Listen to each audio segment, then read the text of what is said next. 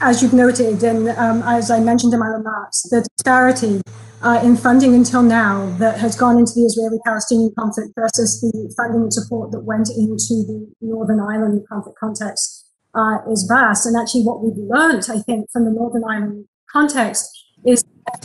the the um, the agreement um, that you mentioned, the Anglo-Irish agreement, was really was really very interim, and in fact, it was from there about 12 years of funding that got you to the uh, Good Friday Agreement, and the work has continued since then. So investment in this kind of work helps prepare the ground for constructive diplomatic agreements and prepares the ground for to take hold and take root to be sustained by people uh, to people uh, activities. I have hope because I've seen the impact that these programs that have existing funded can have on the ground and on individual attitudes, personal transformation. Um,